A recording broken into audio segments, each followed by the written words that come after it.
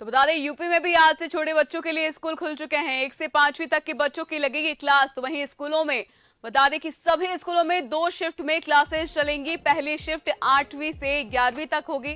बता दें कि पहली शिफ्ट आठ बजे से ग्यारह बजे तक रहेंगी। तो वहीं दूसरी शिफ्ट सुबह साढ़े ग्यारह बजे से करीब अठारह महीने बाद ये स्कूल खुले गए हैं। बता दें, कोरोना गाइडलाइंस का पालन भी किया जा रहा है और सोशल डिस्टेंसिंग के साथ बच्चों को क्लास में बिठाया गया है। बता दें कि एक क्लास से कहली, बता दें कि पहली क्लास से लेकर पांचवी तक के बच्चे आज स्कूल पहुँचे हैं। एक सितंबर से यूपी में स्कूलें खुल चुकी है और कोरोना गाइडलाइंस के तहत ही बच्चों को स्कूलों में प्रवेश दिया जा रहा है और यूपी की सभी स्कूलें खुल चुकी है। सोशल डिस्टेंसिंग के साथ बच्चों को क्लास में बिठाया जा रहा है और उनका बखूबी ख्याल रखा जा रहा है। बता दें कि आज से छोटे बच्चे जो है, वो भी स्कूलों में लौट आए हैं। स्कूलों की घंटियाँ एक बार फिर से बजने लगी है। एक लंबे अंतराल के बाद एक बार फिर स्कूल संचालित किए जा रहे हैं और बता दें कि बच्चों को बहुत ही सहूलियत के हिसाब से आज उन्हें प्रवेश दिया जा रहा है।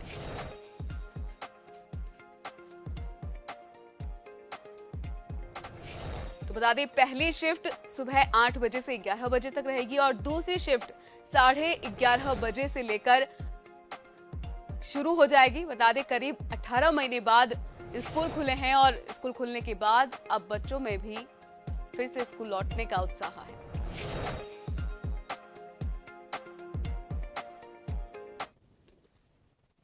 और इसी खबर पर अधिक जानकारी के लिए हमारे साथ संवाददाता यूपी से राजन जुड़ चुके हैं। राजन, चूँकि एक बार फिर से स्कूलें खुल चुकी है 18 महीने का अंतराल जो है वो बड़ा लंबा अंतराल है और कोरोना काल में सभी बच्चे चूँकि घर पर थे, एक स्कूल प्रशासन की ये बड़ी ज़िम्मेदारी रहेगी क्योंकि बच्चे छोटे हैं और उन्हें कोरोना गाइडलाइंस का पालन करवाना अनिवार्य रूप से उनके लिए ज़रूरी होगा।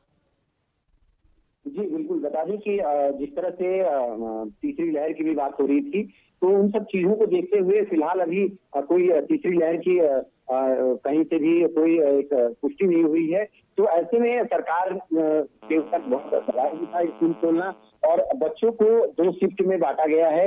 आप, आपको बता दें कि आठ से ग्यारह और ग्यारह ग्यारह बज के तीस मिनट से फिर जो है दूसरी शिफ्ट की जाएगी। वहीं आपको बता दें कि इसमें कोरोना के जो प्रोटोकॉल्स हैं टीचर को सख्त आदेश दिए गए हैं कि इसकी पूरी जो है आप पालना कराएँगे। उसमें बच्चों को जो एक बेंच छोड़ के दूसरी बेंच पे बैठाया जाएगा। ऐसे में बच्चों को सोशल डिस्टेंसिंग और जो बच्चे आएँगे स्कूल में, उनकी प्रॉपर तरीके से मास्क लगे होंगे और सोशल डिस्टेंसिंग का पूरा ध्यान रखा जाएगा। और टीचर जो है जो क्लास में जो बच्चे भीड़ लग जाती थी उसको कहीं ना कहीं दो शिफ्ट में बांट के और सरकार की गाइडलाइन नियमों को पालन करते हुए स्कूल खोला जा रहा है। जी। जी बिल्कुल राजन और चूँकि ये भी जानना चाहूँगी चूँकि पहली क्लास से लेकर पांचवी कक्षा तक के बच्चों के स्कूलें तो खुल चुकी है लेकिन जो बड़े बच्चे हैं उनकी स्कूल खोलने का लेकर क्या कुछ कहा गया है? बिल्कुल बता दें कि बड़ों बच्चों के लिए भी नियम का पालन करना अनिवार्य होगा। और जो बड़े बच्चे हैं कॉलेज और स्कूल के जो बच्चे हैं, उनके लिए भी ये नियम लागू हुआ है और वो स्कूल बराबर उनका पहले से ही आना है। और इसमें जो शिफ्ट की बाइक एक बात की जा रही है उन लोगों में फ़िलहाल अभी शिफ्ट में इस तरह से कोई बात नहीं किया गया है। छोटे बच्चों के लिए ये तमाम जो है गाइडलाइन यहाँ पे जारी किया गया है। और इसके बाद से कोई अगर दिक्कत आती है तो सरकार फिर आगे भी इसमें बदलाव कर सकती है। निर्णय फ़िलहाल ये एक ट्रायल देखा जाएगा कि अक्टूबर में एक बात हुई थी कि अक्टूबर में कहीं तीसरा इसका वेब देखने के लिए मिलेगा।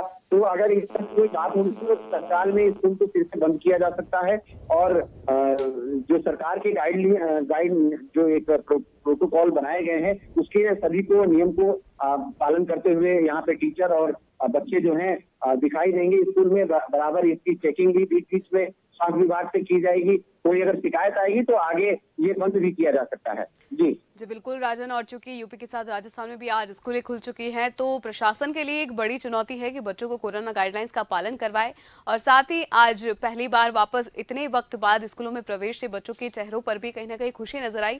फ़िलहाल इस खबर पर तमाम जानकारी के लिए राजन आपका शुक्रिया।